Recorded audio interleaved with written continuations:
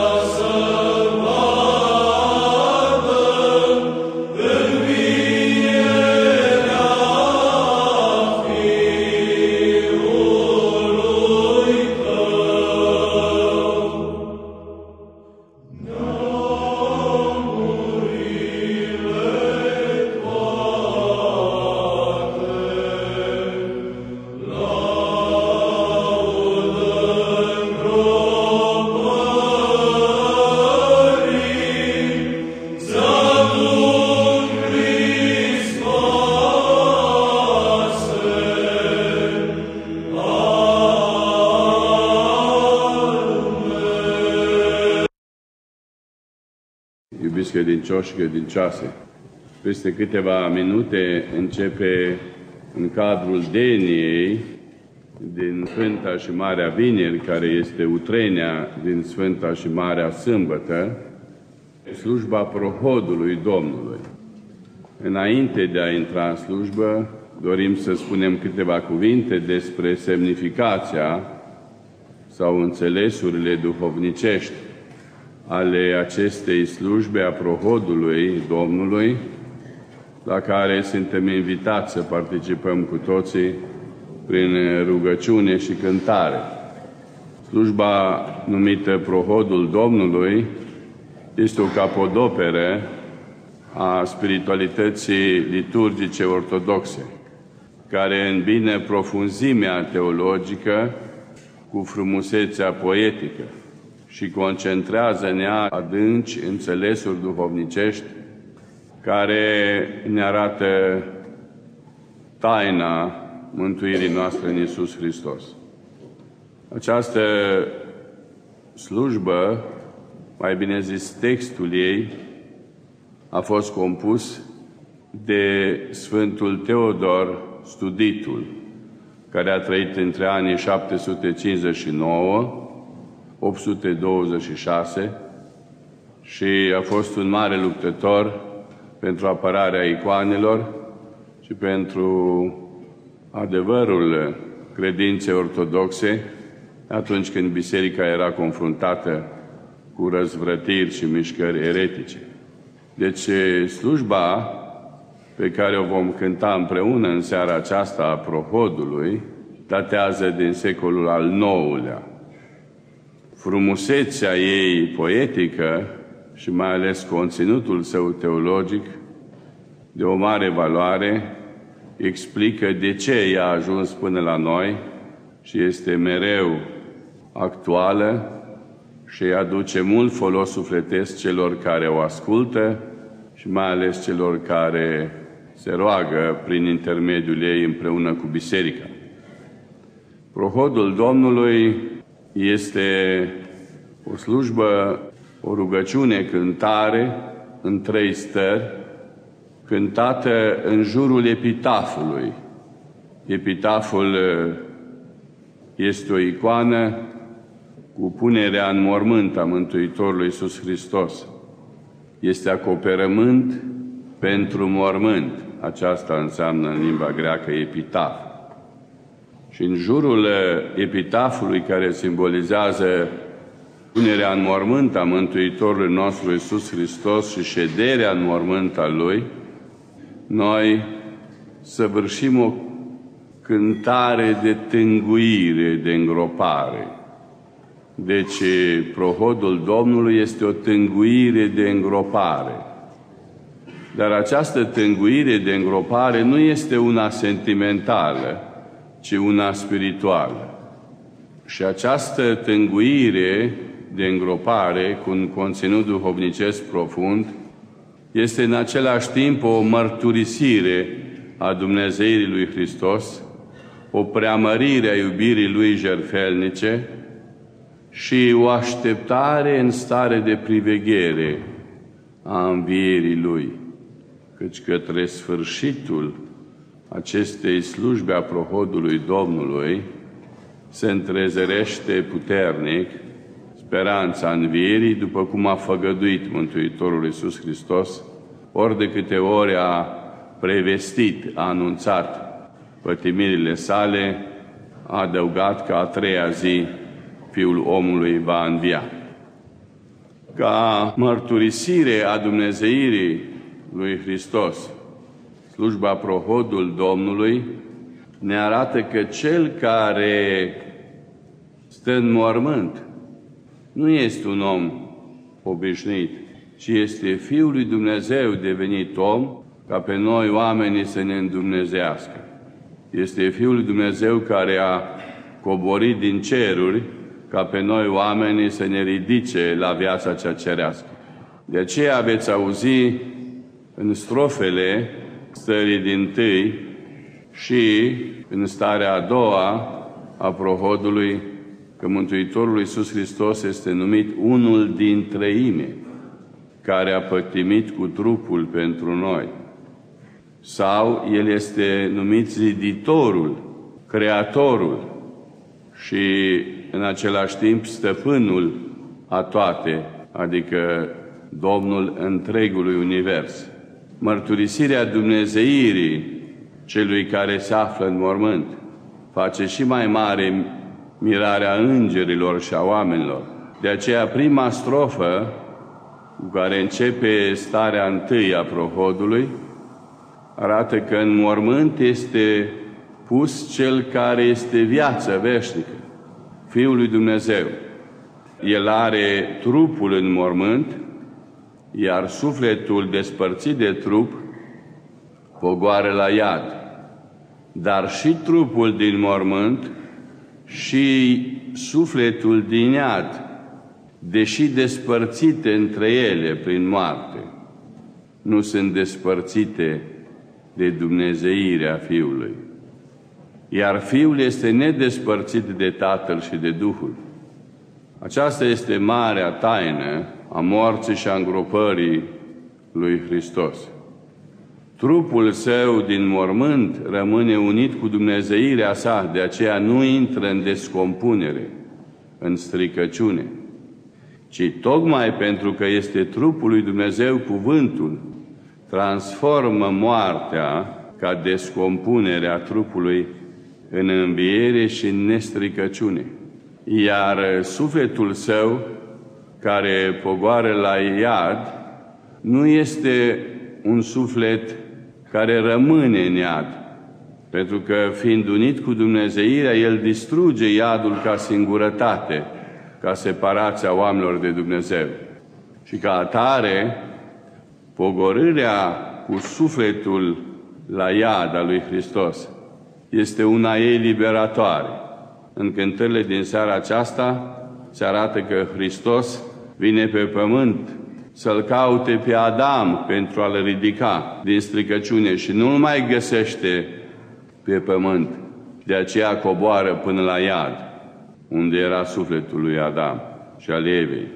Deci această moarte a Mântuitorului devine dătătoare de viață, tocmai pentru că trupul său rămâne nestricăcios, iar sufletul său nu poate fi ținut în iad. Și când înviază Hristos, când se reface unitatea dintre sufletul și trupul său, El ne eliberează din stricăciune, din moarte, ca biruitor al morții și al iadului și ne ridică la viața cerească. Cântările din seara aceasta la Prohod ne arată că Mântuitorul Iisus Hristos cu patimile sale ne eliberează de patimile noastre egoiste. Tocmai pentru că în iubirea sa nu este nimic egoist. Și mai ales ne eliberează de neascultare. Adam a cunoscut moartea pentru că a fost neascultător. Hristos, Domnul, noul Adam se face ascultător de Dumnezeu până la moarte și de aceea vindecă și ridică natura căzută a lui Adam cel neascultător. Cu patimile tale ne-ai eliberat de patim și cu învierea ta, Hristoasă, ne izbăvești de stricăciune, spune una din cântările din seara aceasta. Deci preamărirea iubirii jerfelnice a Mântuitorului Iisus Hristos și mărturisirea Dumnezeirii Lui, care dorește să ne ridice din moarte, face ca taina mormântului lui Hristos să devine izvorul învierii noastre, așa cum se spune în cântările și rugăciunile noastre. Mormântul Tău, Hristoase, este izvorul învierii noastre. Prin uh, această ședere în mormânt din Sfânta și Marea Sâmbătă, ca zi de odihnă, se face trecerea de la cruce la înviere. De aceea taina sâmbetei celei mari și sfinte este taina prefacerii morții în viață și taina biruinței lui Hristos asupra morții și asupra iadului. Aceasta explică de ce în Biserica Ortodoxă Icoana adevărată a învierii nu este ieșirea din mormânt a unui Hristos cu steagul în mână, ci coborârea la iad, pentru că învierea Lui începe cu biruința asupra morții și asupra iadului. Deci avem o prezentare a învierii lui Hristos care devine începătura învierii celor adormiți, celor morți. El este primul care inaugurează viața cea veșnică, cea fără de moarte și este începutul învierii neamului omenesc. De la învierea lui până la învierea cea de ofște, Biserica pregătește umanitatea pentru înviere și pentru viață veșnică. De aceea, slujba de înviere va avea loc afară, pentru că învierea privește nu numai pe creștini, ci pe toți oamenii. După ce se termină cele trei stări de cântări rugăciuni ale slujbei prohodului, vom ieși în procesiune afară și vom înconjura biserica pentru a vesti lumii întregi iubirea jerfelnică a lui Hristos, mai tare decât păcatul, mai tare decât ura, mai tare decât orice formă de egoism și violență. Iubirea lui smerită și atotputernică. Iubirea lui care nu răspunde la ură cu ură și la răutate cu răutate.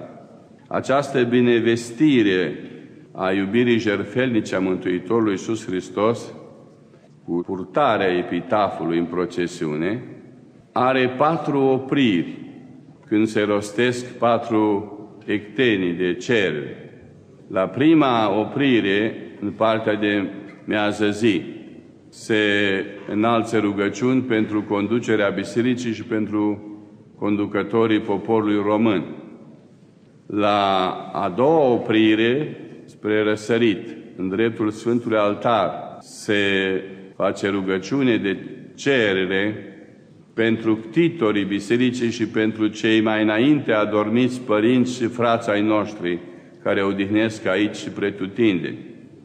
La a treia oprire, înspre mează noapte, se face rugăciune pentru cler, pentru toți frații noștri. Iar în fața ușilor bisericii, la a patra oprire, se face rugăciune pentru cei ce aduc daruri și fac bine în sfântă și într tot cinstită biserica aceasta, pentru cei ce se ostenesc, pentru cei ce cântă și pentru poporul întreg care așteaptă multă mile de la Dumnezeu. Și apoi se cere ca Hristos Domnul să ne ferească de boală, de cutremur, de ciumă, de foc, de potop, de venirea altor neamuri asupra noastră, de toată primejdea, de tot necazul, de toată urgia. Deci vedem că deodată cu mărturisirea iubirii jerfelnice a lui Hristos pentru lume, noi învățăm să ne rugăm pentru biserică și pentru lumea întreagă.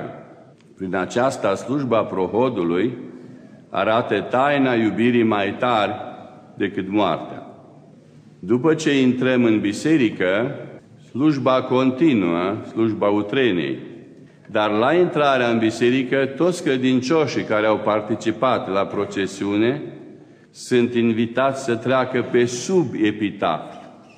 Aceasta are o semnificație profundă și anume, noi participăm duhovnicește la pătimirile lui Hristos, prin rugăciune, prin pocăință, prin iubirea față de El, prin evlavie, prin îngenunchieri, prin împlinirea a ceea ce El ne cere. Și acum, în seara aceasta, când ne întoarcem din procesiunea care a avut loc în exteriorul bisericii, trecem pe sub epitaf, adică ne facem părtași și morții Lui, pătimirilor Lui și morții Lui, pentru că ne-am botezat în moartea și în învierea Lui Hristos. Și dacă pătimim împreună cu Hristos și murim duhovnicește, tainic, împreună cu Hristos, vom și învia împreună cu El și se va transforma tristețea noastră și tânguirea de îngropare în bucurie a Sfintelor Paști. să ne ajute Bunul Dumnezeu ca să trăim împreună cu Hristos viața Lui, pentru că El a devenit viața noastră. El ne dăruiește încă din lumea aceasta arvuna vieții cerești și bucuria învierii din moartea păcatului și apoi bucuria învierii din stricăciune la învierea cea de obște, spre slava Preasfintei Trăimi,